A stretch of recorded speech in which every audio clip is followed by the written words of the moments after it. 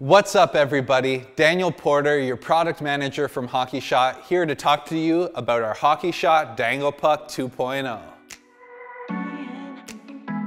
We've designed the Dangle Puck 2.0 to be the best gliding puck on a flat surface ever. The unique double bearing system allows you to stick handle like real ice on either side of the puck. Note that you can't use this puck on rough surfaces like asphalt, but it's perfect for any flat surface such as our dryland tiles, our revolution tiles, or our shooting pads. One problem some hockey players face when practicing away from the ice is they practice with their black puck on a flat surface and it doesn't glide super well. So when they get to the ice, they feel like the puck is moving a lot faster and it takes them a couple minutes to adjust to it.